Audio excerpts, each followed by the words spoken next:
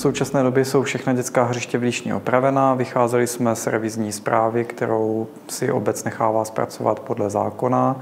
Na Trnkové vlastně je zpracovaný kompletně projekt na opravu parku, včetně hřiště komunikací, osvětlení zeleně a předpokládáme, že začneme se stavebními pracemi, pokud nám to počasí dovolí ještě letošním roce na podzim. Na Proďáku probíhá kompletní rekonstrukce prostoru, který se promění v park. Projekt je rozdělený do dvou etap, z nichž první etapu realizujeme teďka letos. V první etapě se dočkáme obnovy prostoru a úpravy celého prostoru na pobytový park. Hrací prvky v této lokalitě nebudou, vzhledem k podloží, které neumožňuje bezpečné ukotvení hracích prvků.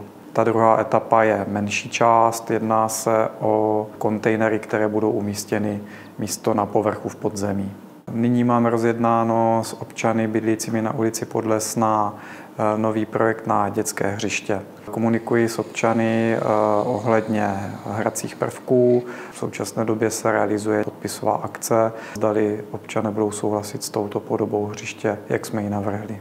Ke konci měsíce července bylo pod ulicí Popelákovou otevřeno nové hřiště, které bylo vybudováno eh, společností Lidl. Toto hřiště eh, podle smlouvy přejde do majetku městské části a bude na nich pravidelně vykonáván úklid, údržba a bude podléhat revizním zprávám.